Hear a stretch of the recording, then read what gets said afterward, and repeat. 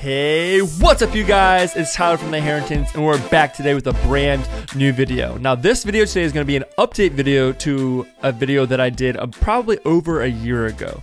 And this is going to be exactly how I match my Sony footage from my Sony a6300 with my Canon footage from my Canon C100.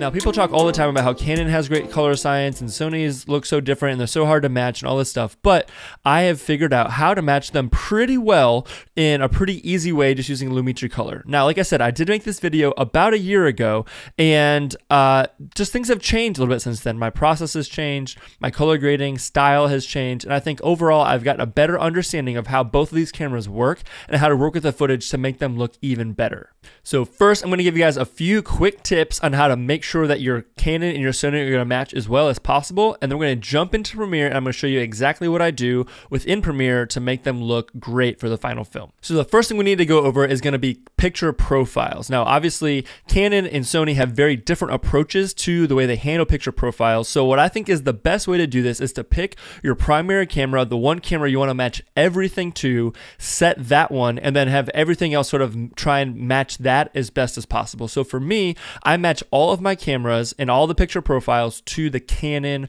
profile because that's the one I prefer the most and that's the camera I shoot with most often on a wedding day. So for me, on the C100, I'm shooting with the wide DR picture profile. So for the Sony, um, I've been using, it's called I call it Matt Flat. Shout out to Matt Johnson. If you guys don't know Matt Johnson, he has an amazing, amazing YouTube channel. You should go check him out. I'm going to tag him up here so you can go check him out. Um, but I use his profile that he suggests for Sony cameras, which he calls Matt Flat. Essentially, what you're going to do is you're going to go into, it doesn't matter what Sony camera you have, go into the S-Log3 profile, leave everything the same, but we're going to switch the gamma over to Cine 4.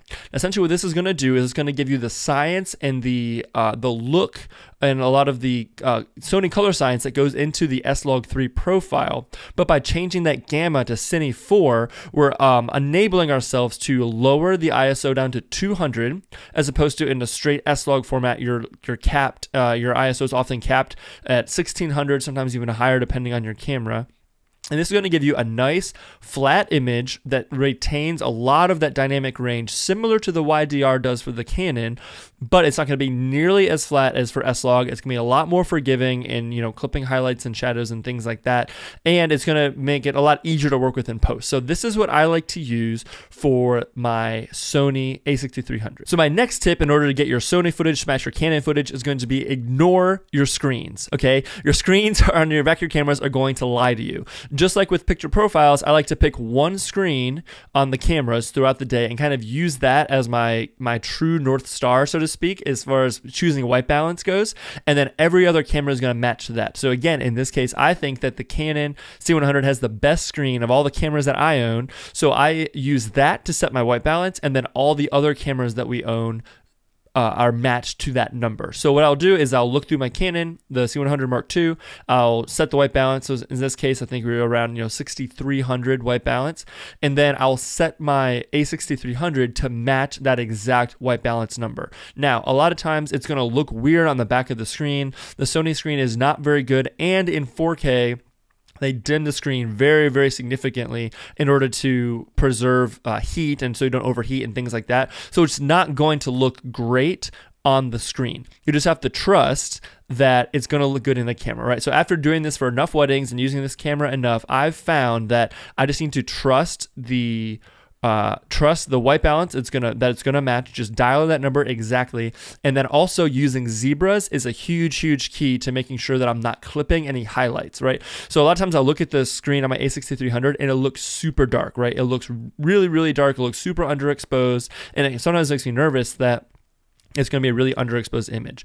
But by using the zebras, that's going to show me when I am actually clipping data in like the dress or anything important. And if I'm not clipping any data, I'm just going to trust that it looks good. Okay. So just you have to learn your camera, learn your screen, and trust that the white balance numbers that you're putting in are going to be consistent across, even if it doesn't look like that on the screen.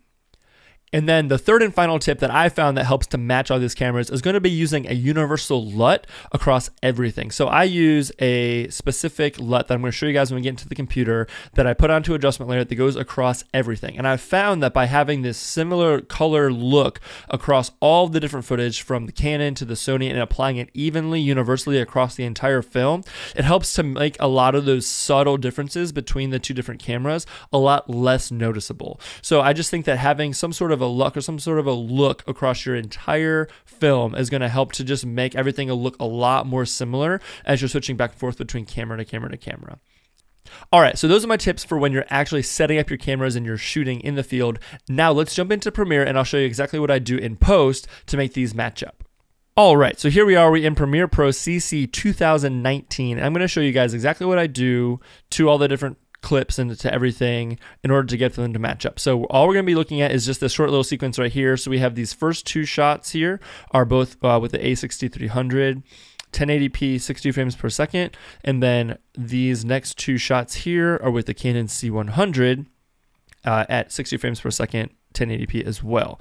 So I'm just going to show you, uh, this is with the color correction on and with the LUT and everything applied. Um, this is what it looks like. So I'm going to go ahead and play this for you right here. We are gathered together in the sight of God to witness and bless the joining together of Christina and Tommy in Christian marriage. And wherever true love is, God's own self is there.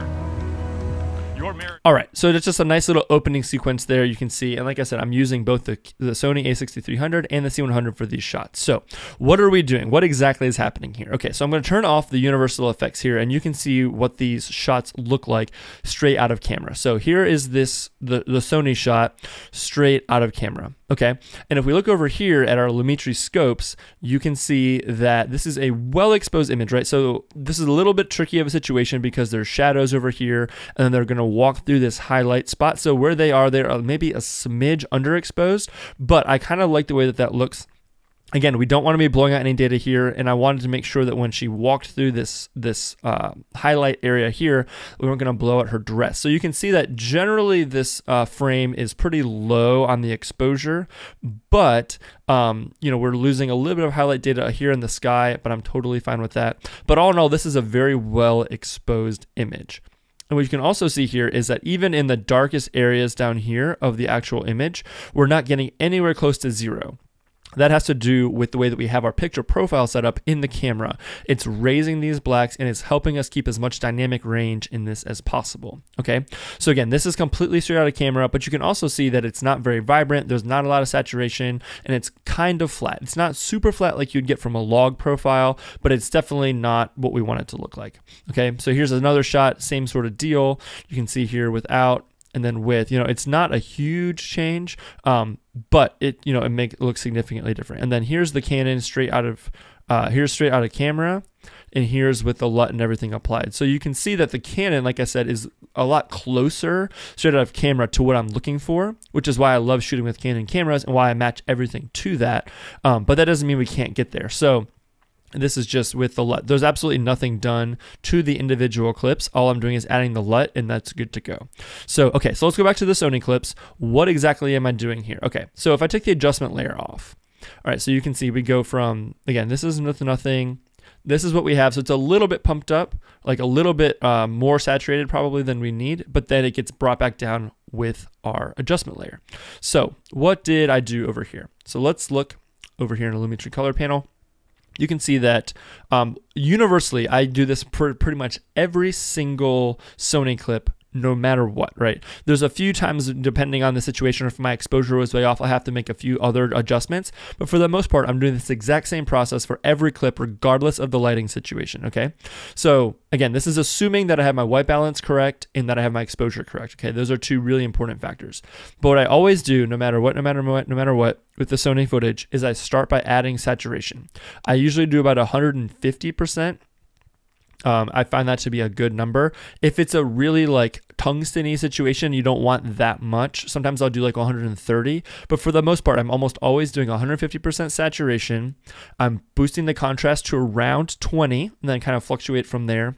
Um, I'm pulling out shadows to here to about 30. Um, and sometimes if I need to, I'll, I'll add a little bit of black back in, but for this situation, I did not.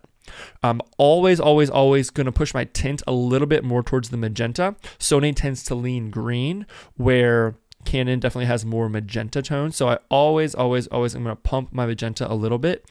And then the temperature up here will fluctuate from shot to shot. Most of the time, I'm pulling it down and I'm actually adding a little bit more coolness, pulling some of the oranges out of it.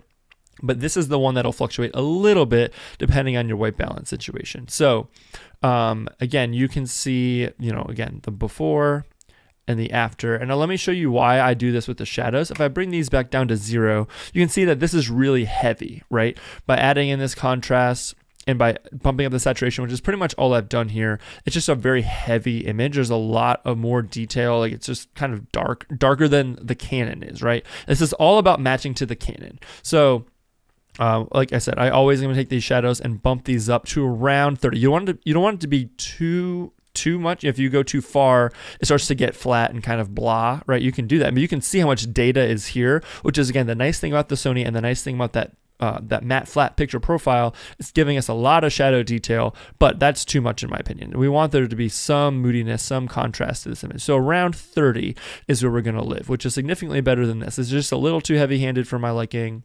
Right around 30, 33 is pretty perfect. Um, and yeah, so this is looking good. And then all I do from here is I copy this and then you know I would paste the attributes to all to the next Sony clip and to pretty much any Sony clip after that. And then the only thing I adjust from uh, from clip to clip is going to be again this temperature slider depending on how on or off my white balance was. But for the most part, I'm doing this exact same process for every single clip. Um, and then since I know everyone's going to ask, I'm just going to show you this anyway. For my adjustment layer, um, this is again a very simple adjustment layer. All I'm doing is I'm using a LUT. It is a Cine Subtle Teal and Orange LUT. I will link uh, in the description below exactly where you can go buy these if you want. It's actually made by a fellow YouTuber, um, so it's supporting him as well, which is pretty cool. So you can definitely go check these out. This is my favorite one. Um, again, it's a subtle amount of orange and and teal in the shadows, which I think looks really, really great for skin tones and for weddings. It's just a very, I don't know, I think it looks makes skin tones look really great. And again, this LUT I chose specifically to pair with my Canon cameras based on the Canon look. So if you shoot with a different camera, this LUT may not look as good. It may, it may not. You have to experiment for yourself, but there's a bunch of them that are in there. Okay, so I use that LUT. Um, I have the intensity around 50%.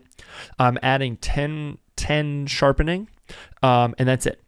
That's all I'm doing. That goes on the adjustment layer, which goes across the entire film. It gets locked down. Uh, so there's no adjusting it, and that is universal across everything, no matter what, literally across the entire thing. That's kind of like what gives our films a very cohesive, um, I, I, cinematic, for lack of better words, look. So again, straight out of camera with everything applied. I personally love the way this looks. I think it looks really great with the lenses and the camera that I have.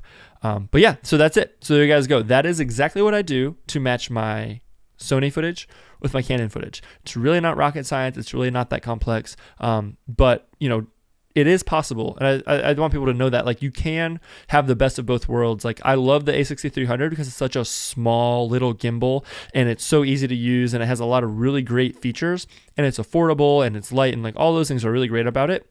Um, but I also love the C100 and I love the color science of that. So it's not impossible to have both. You, you can mix and match and you can get it right. And at the end of the day, you need to remember too that we as filmmakers have a much more critical eye than probably anybody else. So brides and people like that, they may not pick up on the subtle little differences or the subtle little hints and changes here or there. So as long as you can get close enough so that it's not jarring and obvious to just like a random person that's your goal. You don't have to necessarily strive for perfection because you can drive yourself crazy sitting here trying to get every single little tone, every little ounce of everything to look exactly identical, right? Don't worry about that. As long as it's close enough, it's not super jarring and it's not super obvious that they're different, people are never going to notice. So that's it, you guys. I hopefully you guys found this really helpful. Hopefully this is uh, something that you guys can benefit from by watching. If you enjoyed this video, definitely give it a thumbs up. If you have any questions, if you have anything I missed in this video, please leave me a comment down below. I'd love to hear from you. Thank you guys so much. Has been Tyler from the Herrintons, and I'll see you in the next one.